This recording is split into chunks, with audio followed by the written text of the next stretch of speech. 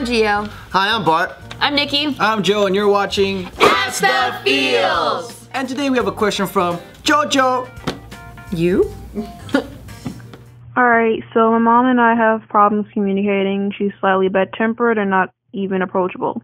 I'm constantly being respectful as I can, but she's always blowing up and getting mad over the small things that I do.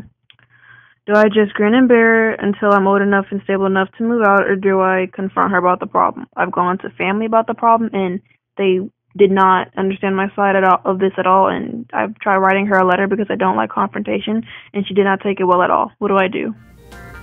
Damn. Damn, this is so tough. So I, I was uh, in a similar situation.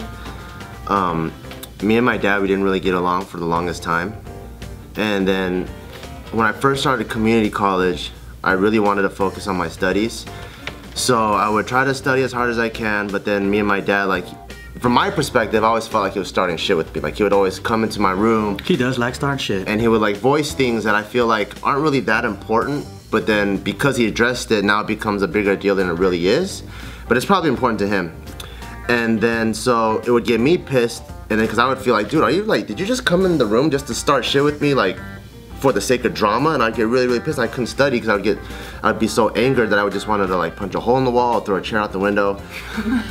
and then I realized I was like, the only way for me to achieve my goals at that time is I need to remove myself from him so that I can have more breathing room and I don't feel like there's someone on my back. So once I moved out and I didn't have to deal with them on a daily basis, not only did my relationship with him get way better, but also I was able to focus on myself and kind of also reflect on the things that made him want to start shit with me. I was like, oh, I could see like if I did this, he would. Because like a lot of the times when your parents come at you, yeah, they might come at you wrong because they don't really understand you that well, but it's also rooted in something else that you did. Because I think at the end of the day, the parents, they just want kids to be perfect. And even though that's unrealistic, everything that they want you to do is they want you to be like this perfect human being. You just don't know how to communicate it that well. So they just nitpick at all these little things, which probably piss you the fuck off. That's what happened with me. But after that, I was able to understand that and understand where my dad was coming from, uh, coming from, and that helped me approach him when I started to talk to him.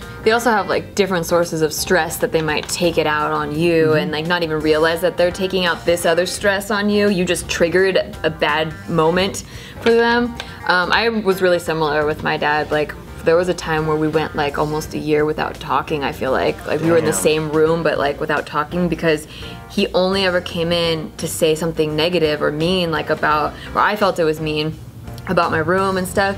And I think it's kind of a respect thing too. Like once you get to a certain age where you can have your own opinions and like you might not agree with them, it's like they still want to be like I'm in control, it's my house and like you know this i can do whatever i can make i can ground you you know? And i actually got grounded for not making my bed. I never make my bed ever. Like i just am bad at it. I just don't see it. Like i don't get it. I'm always gonna take naps and be in there anyway. So like i never made my bed. But just this one day my dad told me to make my bed. And when he came home from work it still wasn't made. So he grounded me for two weeks. I'd never been grounded my whole life. I don't do drugs. I get straight a's. Like i was like super good. I was like, yeah, I was super mad. But then it was like once I moved out, we're we're really similar in the way we approach things. So like we constantly just butting heads.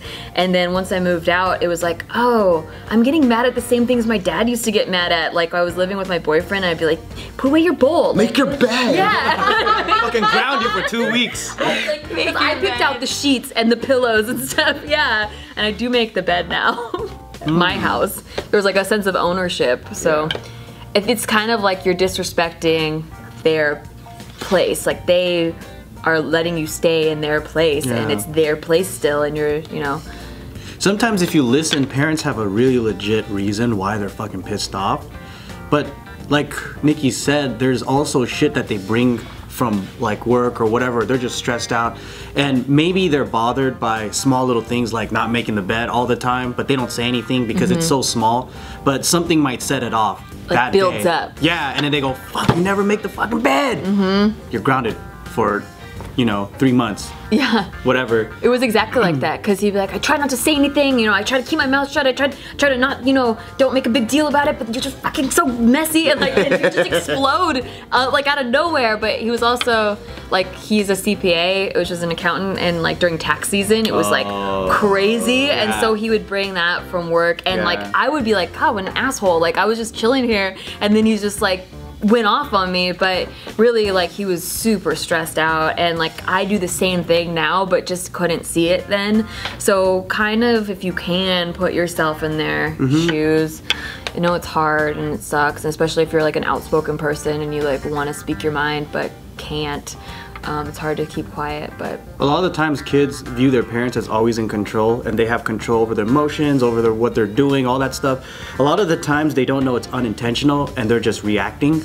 And sometimes the best thing is distance makes the heart grow fonder and if you can just just suck it up right now, save up all that money and move out because it's really really hard when um, you're dependent on them and you're trying to come at them as an equal and have a discussion. That's not going to happen. Yeah. they're always going to treat you as a subordinate. They might even always take out their stress on you too because you're submissive or you're basically under them. And that's not how it should be but there's what should be and then there's the reality. So i think the best way is to save up move out. Yeah because since I moved out we have a great relationship now. And same with bart. So move out get the fuck out save the money and you become independent so mm-hmm.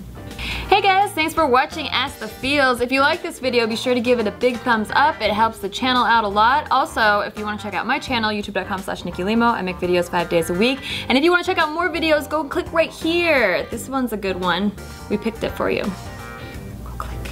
But to me, like, open relationships are the wave of the future, but it takes a certain amount of maturity to successfully do those. Um, so if you're younger, I mean, sticking with monogamy is simple because it's just very black and white, whereas an open takes a lot of communication to work effectively. But I guess that's also kind of like just hooking up with somebody. So if you like this person, um, I think having that honest conversation with them, that's like, okay, well, what do you expect? What do you want? I mean, you have these other girls on the side. What do they mean to you? What do I mean to you? And just being a friend